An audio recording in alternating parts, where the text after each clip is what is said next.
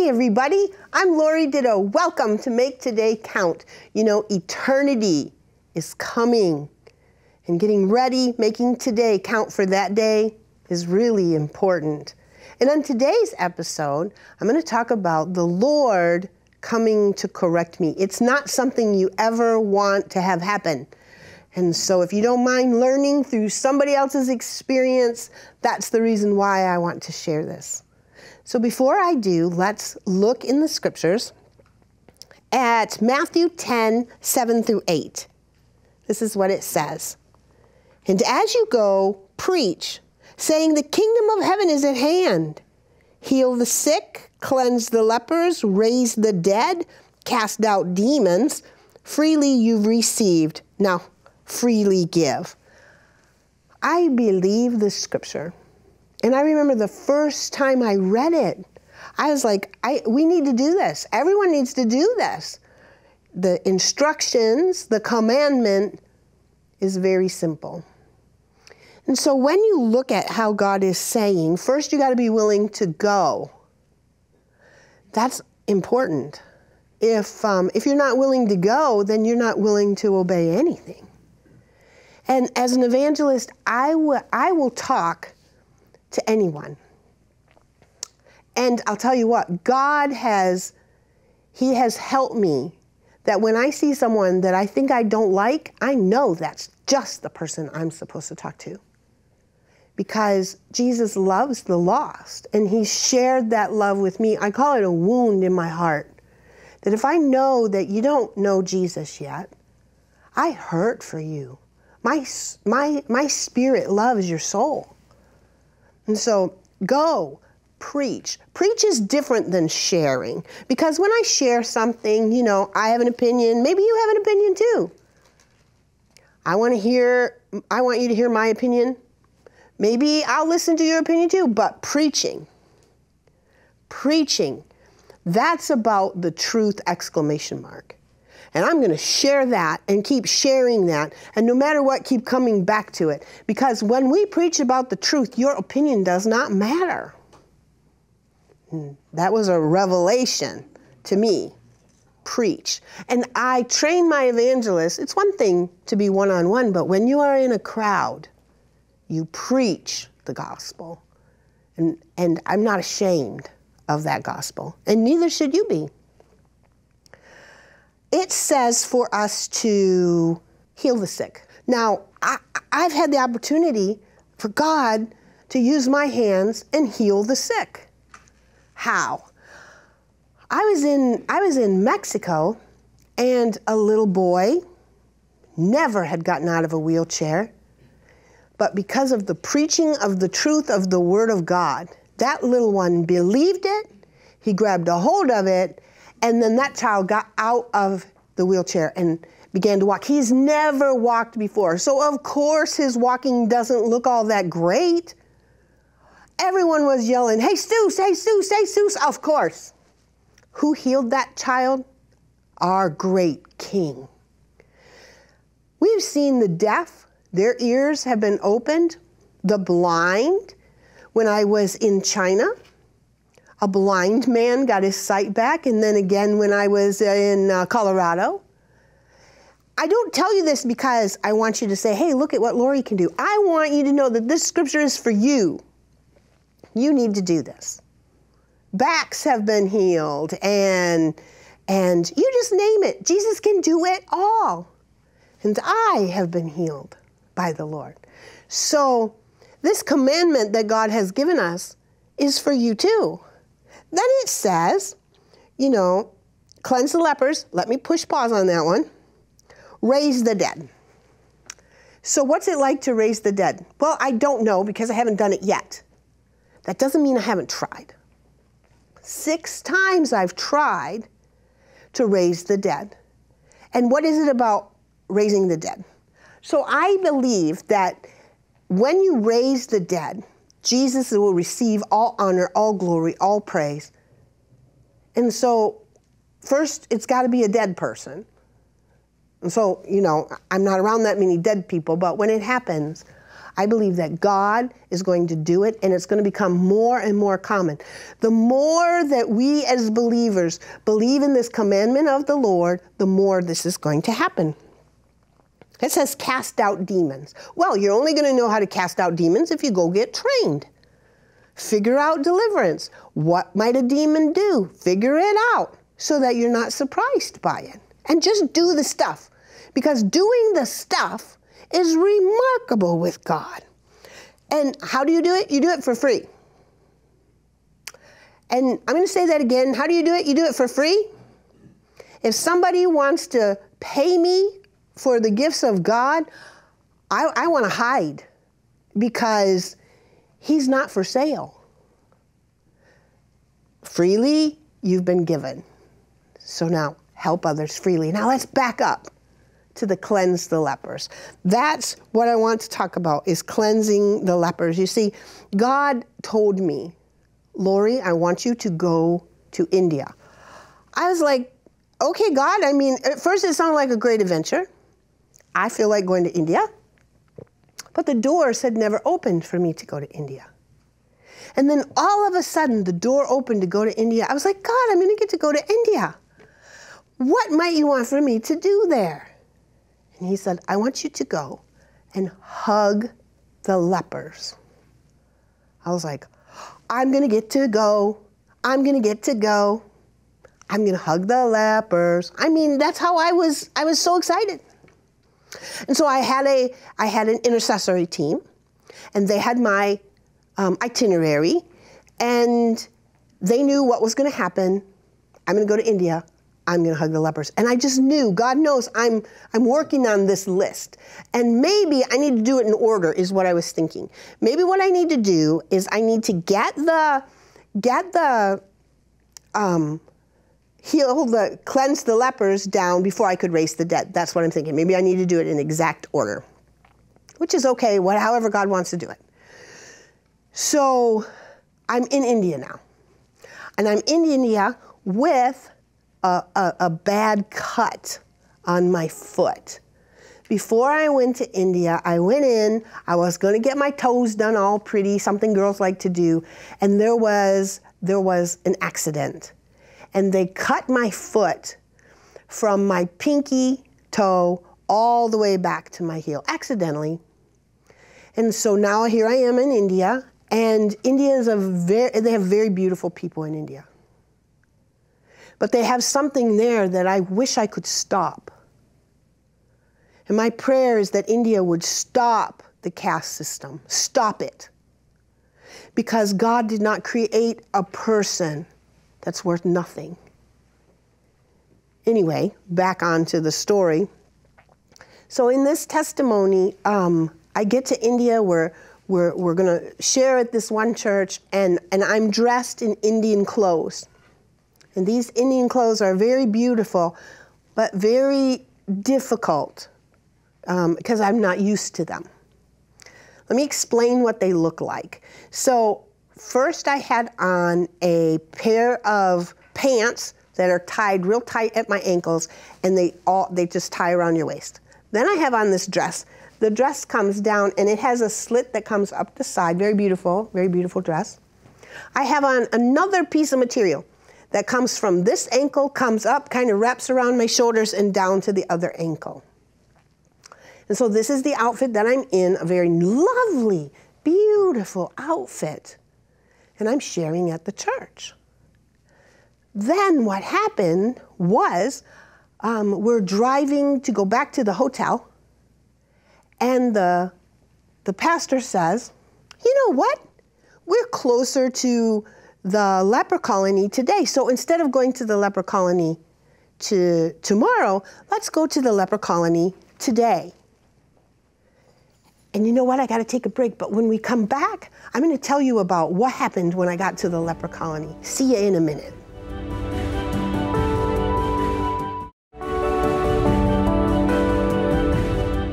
Hey, welcome back.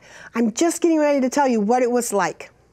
So, the pastor wants us to go today, a day early, to the leper colony. I don't want to go there today for several reasons. I have this cut on my foot. I'm wearing a fancy dress. And Mike says to the pastor, he's like, Oh, that's okay. Yeah, let's stop there. I'm like, No. And my thought is when we come tomorrow, I'm going to have my foot wrapped up in a sock with some tennis shoes on instead of open toe sandals. I'm going to have on a pair of blue jeans. I'm going to have some gloves to come and hug the lepers. But Mike and the pastor figured out that I could go there today. So I get there and I am stressed already. We walk into the leper colony. Now, let me tell you how this leper colony is situated. It used to be that it was out um, away from the towns. But as the towns grew, the town got closer to the leper colony. So they placed a dump, a burning garbage heap, around the leper colony on three sides. And a, and a leper in a leper colony can never come out. Once they are in the leper colony, they're there for life. And so we're going to go and see them. And when I get there, I'm very stressed.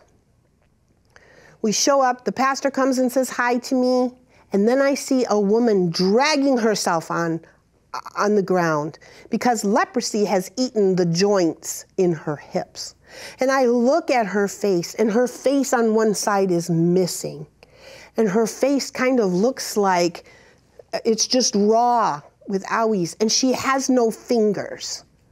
And you can see the leprosy is eating her. And I got so afraid. You know, it's one thing to see a disease in a book, it's a whole nother thing to see a disease on a person. And I got so panicked. I thought, you know what? I have to go to the bathroom. That's what I do when I get nervous. I, I have to give myself a change of atmosphere. I have to go to the bathroom. I don't know why I thought the bathroom would look like my bathroom in the middle of a leper colony. But I get to the bathroom, and what they had was there was a hole in the ground. Now I'm going to try and explain this with using as few words as possible, but you can follow. So I get in there, I start pacing. Now all of a sudden, I have to go. So I'm there and I'm trying to hike up a dress, kind of trying to hold down some pants and manipulate this piece of scarf that's everywhere, and everything got wet with what I'll call leprosy liquid. And I'm like, you've got to be kidding me. And then it spilled up against my cut foot, and I was sure I had leprosy. I mean, I was positive.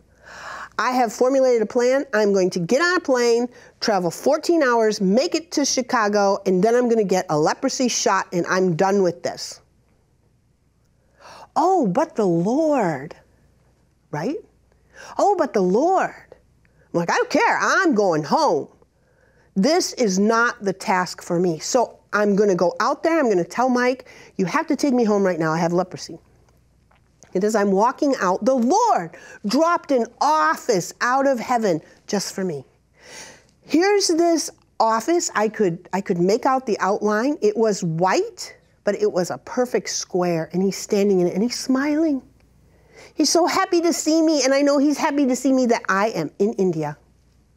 He said, "I sent you here for this." And I start telling him, "No. No he just keeps talking. He's a great coach. He just keeps talking. He says to me, he says, I desire for India to be a sign and a wonder in the world. I said, no. He's like, I desire for India to know my healing touch. No. And now he's starting to look at me like, is this woman getting what I'm telling her? Are you paying attention? And so then he looks at me and goes, I sent you here to hug the lepers. And now I'm, I'm so agitated because I, he's not listening to me, as if God should listen to us. That I said no. And as soon as I said no with such a bad attitude, he didn't use his words, but I heard him. I heard his head, I heard his heart, and this is what he said to me You will not hear, Well done, good and faithful servant, if you do not do this. Now I started saying no in a different way. No, no, no, no. No, no, no, no, no, no.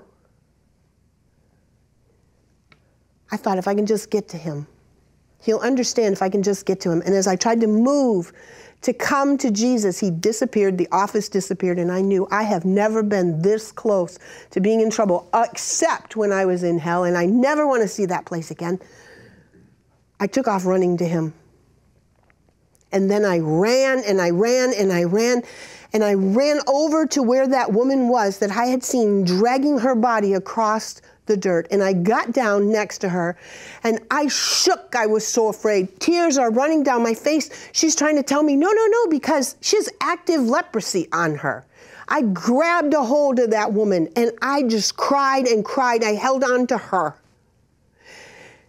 And then I got up and I went to the next person. Why was I crying? Because I was so afraid. But you know what? I was afraid more of what God said than any disease that woman had. And come to find out, this woman is the head Christian in her community. She loves Jesus. This is momentary light affliction. You know what God told Mike? He said, Mike, I want, you, I want to introduce you to my royalty.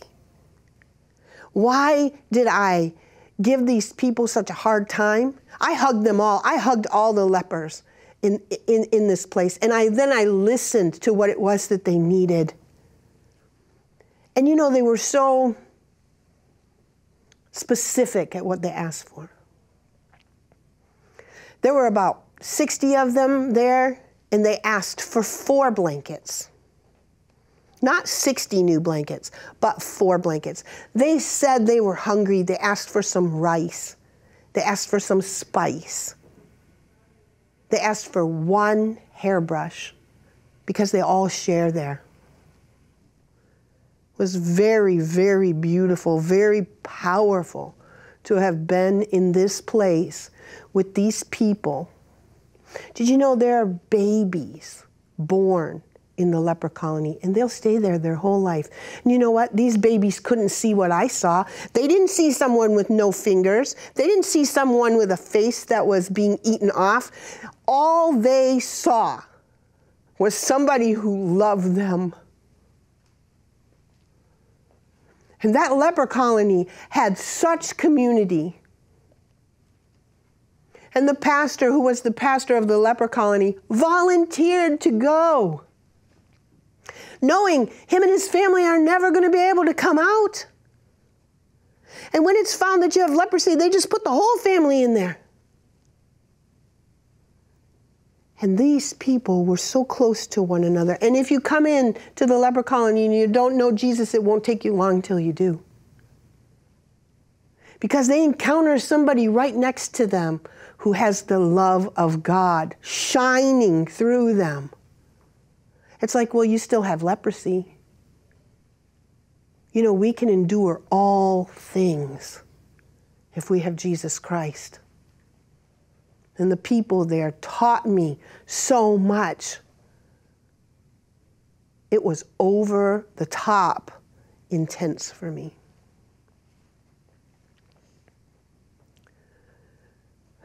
As we ministered to the people, they invited us into their homes it's maybe a 10 by 10 room. And one person had a, um, had a boat cushion.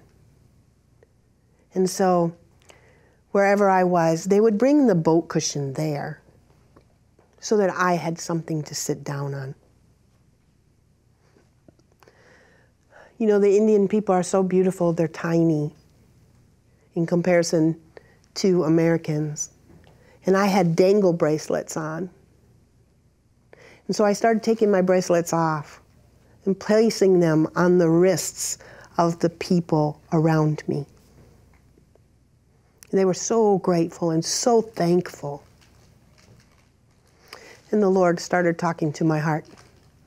And you're not going to believe what it was that he eventually said to my heart. And when we come back from this break, and please come back because this story is not complete without the punchline. And I'm sure the punchline will catch you the same way it caught me. I'll see you in a minute.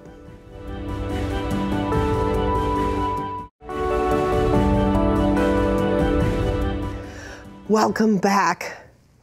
I was just getting ready to tell you about what it was like as I was leaving the leper colony. You know, I felt the fear of the Lord. So there's the fear of the Lord, make sure you do the right thing, and then there's the fear of the Lord because you are walking on a very tight rope, getting ready to do the wrong thing. And I was so close to that wrong side. So when we got home, we landed, I thought, I'm going to go get that leprosy shot. And the Holy Spirit spoke to me. He said, Lord, if you go get the shot, you will have leprosy. I was like, oh, okay, I'm not going to get the shot. And I was, I was really kind of intimidated to talk to God because what's he going to say to me when I finally talk to him? And, and, and I'd shared with Mike, I'm afraid to talk to God, which in my life, I mean, I talked to him a lot. I talked to him all day. Mike's like, You haven't talked to God? I was like, No. I'm afraid to talk to God. I don't know what he's going to say. He's like, Well, just get it over with. Just talk to God and get it over with. So I was like, Okay, Father, can you help me? What did I do wrong? This is what he said. He said three things. First, Lord, you were filled with pride. You thought your life was more important than their lives. But I've used you in spite of your pride. Second thing, you were filled with fear. And because of your fear, you panicked, started making a plan. But I've used you in spite of your fear. But this deadly combination, a cord of three, is not easily broken, the Bible says. The third thing is you had an opinion. And I thought, yeah, I had an opinion. But I'm an American God. You know, we pride ourselves on our opinions. I have people come and ask me my opinion. There's certain people I go and ask them their opinion. But when God tells you to do something, your opinion does not matter. And that cord of three fear, pride, and opinion almost caused me that I would not hear, well done, good and faithful servant. I believe this with my, with my whole being. Now, I don't know how to get rid of fear all the time. I don't know how to get rid of that. And pride, even though I try to get rid of pride all the time and practice humility, it still creeps up. But you know what? I can kill my opinion. Because we need to take one of those three things out. And so it doesn't have to be my way, it gets to be His way. It doesn't have to be what I think I would like. What it must be is what God commanded us to do. Let's look at this. It says, as you go, make sure you're going. Preach the truth. Preach. That's what it says. The kingdom of heaven is at hand, and that's what we need. We need the kingdom of heaven to be here now. You know why? Because we need to heal the sick. We need to cleanse the lepers. We need to raise the dead. We need to cast out the demons. Freely, Laurie Ditto has received, and so freely, Laurie Ditto has to give. I want you to think about your opinions and what your opinions may be doing that's getting in the way. Because it's those kinds of things we need to stop. We need to be able to go. I want to pray right now in Jesus' name that you would have boldness to put yourself out there to say, This is my commandment. And that you're willing, you are very willing to go with God and then to preach. I want to talk to all of the introverts. You know that very special person you love sharing things with? Jesus. He's asking you. Do it. Just do it. He'll help you. Heal the sick, believe that He wants to do it cleanse the lepers. Try, raise the dead. Try. Freely you've received, now you need to freely give. Let's pray those things. Heavenly Father, you're so good to us. You love us so much. Jesus, we love you. We love you, Holy Spirit. We love you. Cleanse us, God. of anything that would hinder us from our obedience to you. We want to be chosen by you, God. We want to be sent. We want to be anointed. We want to be appointed. And above all else, let us each hear, well done, good and faithful servant. Let us each hear that, God, on the day that matters the most, that when we hear it, we'll see it first on your face, that you're smiling. Your day counts today. In Jesus' name, amen.